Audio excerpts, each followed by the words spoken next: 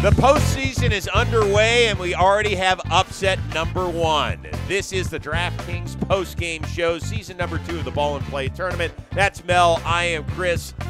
Well, in the pregame show, all three of your announcers picked Forgotten Rotten. And what happened? Woogas came in here and said, Y'all are morons. Uh-huh. They took it to one of the favorites here in the postseason tournament. How did they get it done? Well, they they just put it together. As far as the batting went, that was brilliant, especially when you saw Jimmy Knorp, because we've been wondering when he was going to come through, and he came through today. But all across, uh, what was incredible was that they lost a player when Luke uh, sort of pulled his quad, and they still managed to defend and that is, just blows my mind. Uh, they had everything against them. They put Forgotten Rotten under pressure, and they have not been under that kind of pressure in this whole tournament. No question, Luke O'Brien, one of the big stories. He continued to play and actually swing it well as a striker, and he is the star of the game. He is standing by no. with mom. We got Mama in here now. Yeah, bring how, her in here. How Why do we? Not? Was it concerning to see your son's Have injury her turn there? around though, Kels. Have her turn Camera's around. Camera's this way. We want to see her turn around. There we go. There's Mama. He's good. He's all good. He's tough. Come on. Rub it out. Over here and now, call me a pussy, basically. Listen, Whoa! Well, hey, don't say that in front of your mother. Today you're a winner. While we have you here, we have a rumor that we need to settle, okay? We've been told that you are cheering for Jimmy in this tournament because Luke does not call you enough. Is that correct? He doesn't call me enough, but he came out to dinner with us last night and slept over, so he kind of making his way back. So is Jimmy still in the lead? Jimmy calls me. Okay. Look what color her shirt is, Kelsey. Look what. Look. What are we charging for this family therapy session? What are we doing here? Uh, okay, well, Luke, for you, first of all, just describe to us what you're actually, like, legitimately feeling right now, and if you think you're going to be able to keep playing. I hope I can keep playing. It's going to be hard to get me to not play. Um, I like, like explosion in my quad is what I felt. Like I almost felt like I heard it, big pop, and then I tried to like keep going for a little bit, but yeah, I don't know. I screwed it up. Medic said ice it that was the best solution we have so far. But uh, it seems like it helped me hitting. Yeah. No hips. The hips were the problem the whole time. So. Yeah. You cannot do not move the hips. Yeah. Now we were talking to Jimmy Norton before the game. You guys didn't win a game in the regular season, but he said that he really felt you guys were starting to click. What clicked for you guys this game, being able to take down an undefeated team in the regular season?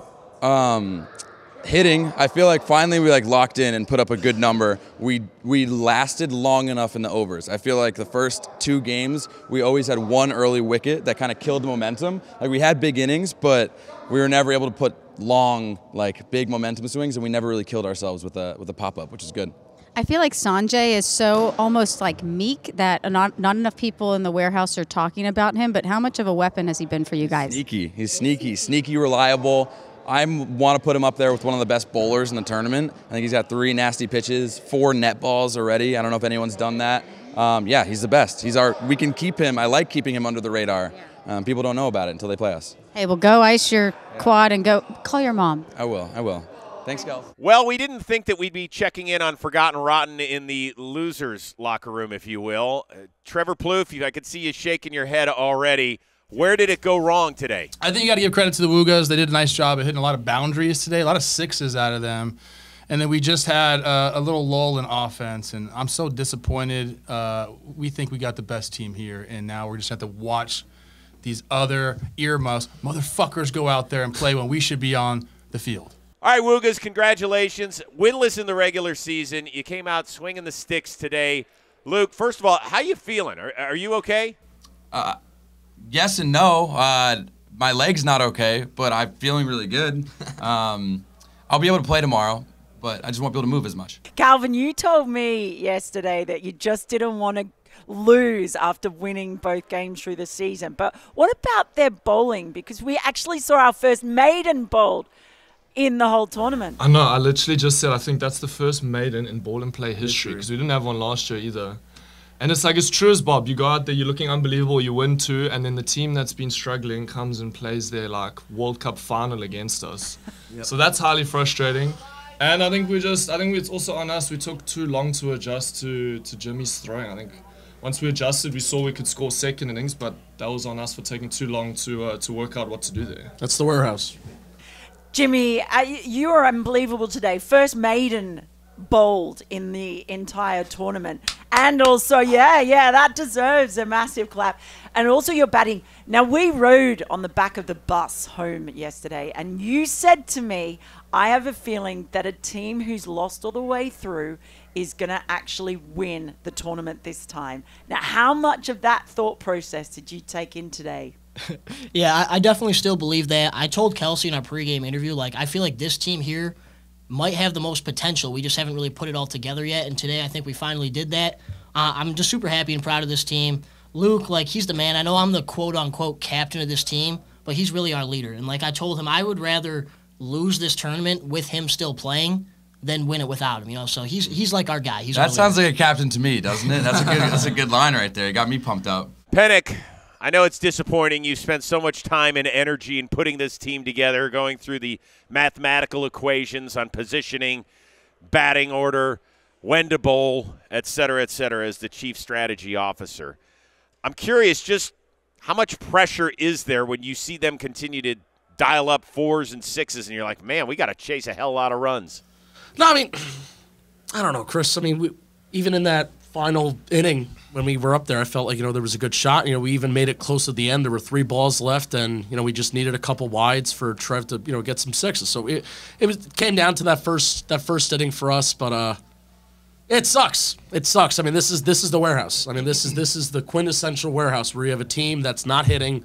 Luke O'Brien, who's a really really good hitter, and he has one six coming into this game, and now they all start hitting at the right time. I mean, this is the you know this is what the warehouse is all about. Um, so credit to the Woogas for really doing a you know they had a great game.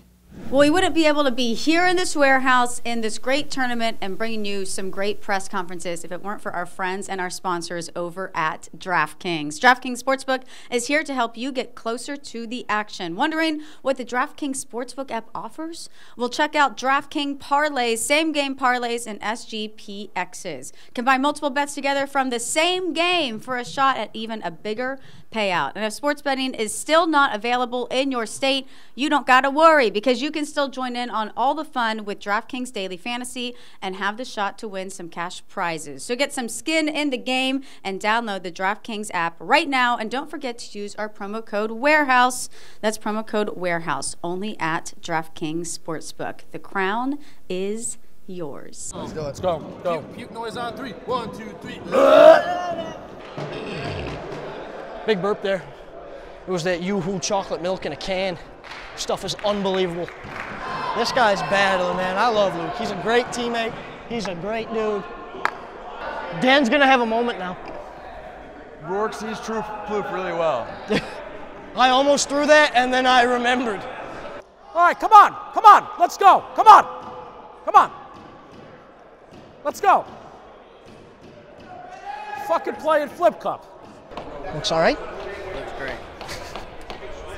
You look like a Reese's Peter Pan. Yeah, something like that. I kind of looked like the guy from Curious George, I said, with the hat, but Reese's Peter Pan works as well. Oh, hi, Kels.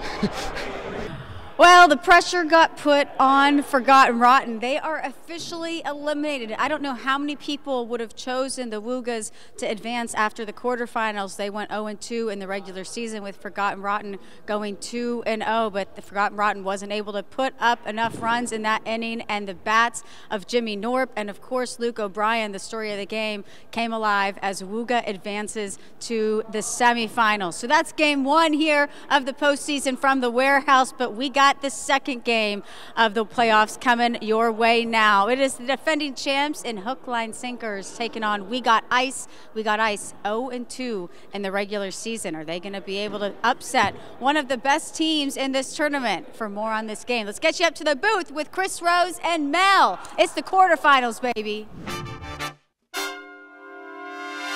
That's right. We are back in the warehouse, Jersey City, New Jersey. It is a DraftKings pregame show. Game number 10. It's our second of four quarterfinal matchups. 1 2 0 team, 1 0 2 team. Stop me if you've heard this before, but this time it involves the defending champion hook line sinkers taking on We Got Ice. And if you talk to We Got Ice, they're like, hey, Woogas just showed us the blueprint. We're going to be just fine here. Easier to easier said than done because they've still got to put it together and they haven't done it all season. And again, I, this is this deja vu all over again, Chris, because it's really hard to go past hook, line, sinkers. They've been another team that has been solid all around, all the way through. But playoffs are a funny thing, huh? Pressure cricket. Yeah, and with We Got Ice, sure, they might say, well, listen, we just saw it happen on this very cement. We can pull it off as well they've got to produce when they're up at the plate. And that's what Woogas did in order to knock off Forgotten Rotten. They put up a big number, they put up another big number their second time up. I don't know if We Got Ice has got that in them. Well, they haven't shown as many signs as perhaps the Woogas did uh, in the regular season. But uh, look, they've learned a lot in their first two games. Mm-hmm. It's just have they learned enough? Time to find out. Kelsey Wingert checking in with both teams. In the first game of the playoffs, we saw an upset that I don't think anybody was expecting to see. An 0 2 team taking down a 2 0 team. You guys are unscathed so far. How do you plan to defend your title against a team that seems like they should be able to click, but they haven't clicked and we got ice? Yeah, look, they haven't gotten a win yet, uh, but they're a team that has not looked like a, a, pleasant team to play against this whole way. But uh, I think if we do everything we do. Um, just play play our game, do what we do best. I think we'll we'll end up where we need to be, um, and that that would ideally be in the winning side of things. Mm-hmm. Your overall takeaways on being here in the postseason for the very first time in the warehouse? It's incredible.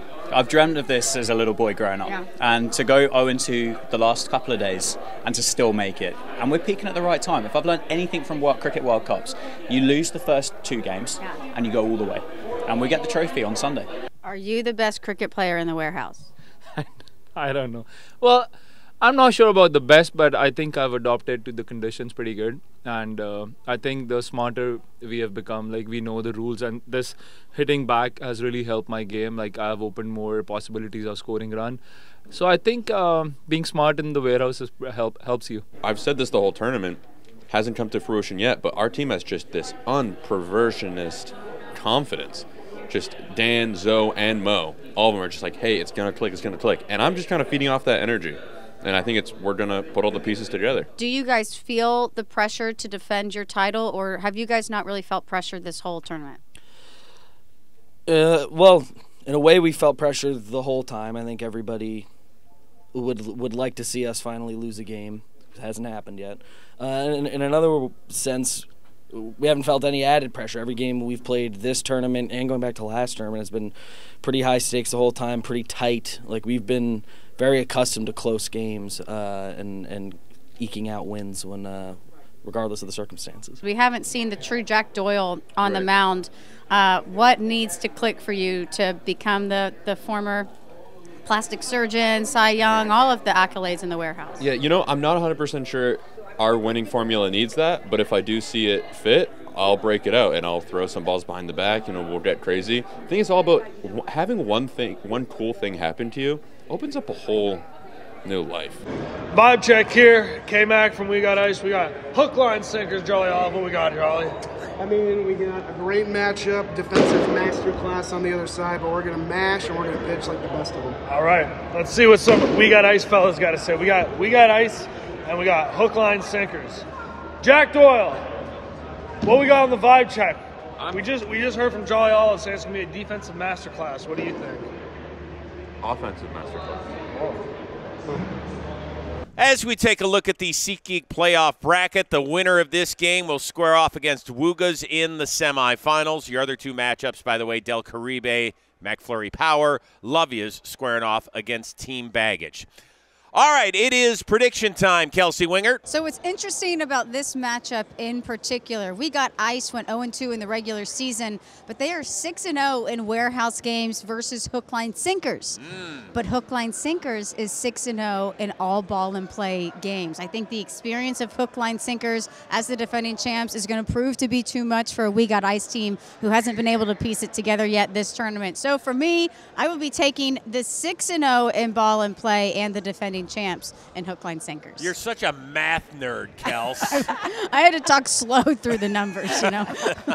well, you know what? I'm I'm going against the grain because all three of us Well, we were all for Forgotten Rotten the last time around. So I'm going for the upset. I'm backing Okay. in. I'm backing in. We got ice to bring home the chocolates today. So that to bring home what? Chocolates. Is that a saying in cricket, or did you just make that up It's in a saying, and everybody knows that saying. But Oh. uh, bring home, bring hey, home listen, the if there is somebody in this building who should know about chocolates, it's Tummy Tuck Rose. Okay. Um, so that means that I have to break the tie, and neither team wants me to pick them because I'm so bad at this stuff.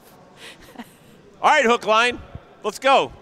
Keep the march going. You, you're playing the role of the heel. Great. I mean, nobody likes you in this warehouse. They they all want to see you out, which is exactly why you will march on into the semifinals. But you'll have to tune in and see for yourself. For Kelsey, for Mel, for our amazing Jomboy Media production team, I am Chris. Thanks for watching the pregame show presented to you by DraftKings.